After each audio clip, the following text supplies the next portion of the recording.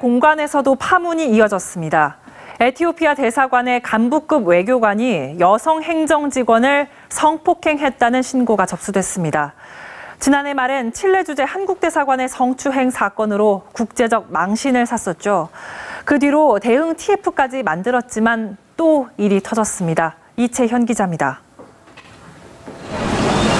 현지 시각 지난 8일 주 에티오피아 우리 대사관에 근무하는 간부급 외교관 A씨는 대사관 내 여성 행정직원 B씨와 저녁 7시부터 단둘이 술을 마셨습니다. 여직원 B씨는 A씨가 와인의 상당 부분을 자신에게 마시도록 했고 만취해서 의식을 잃자 차로 집으로 데려가 성폭행했다고 밝혔습니다.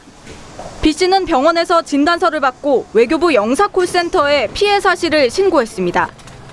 피해자 B씨와 면담한 외교부 당국자는 진술이 엇갈리지만 피해자 진술에 설득력이 있는 것 같다고 전했습니다. 취임 일성으로 공직기강 확립을 강조했던 강경화 외교부 장관은 경로한 것으로 전해집니다. 외교부에 대한 국민의 신뢰를 회복하여 직원들이 궁지를 되찾을 수 있도록 하겠습니다. 외교부는 해당 외교관을 조사해 엄중 조치하겠다고 밝혔습니다.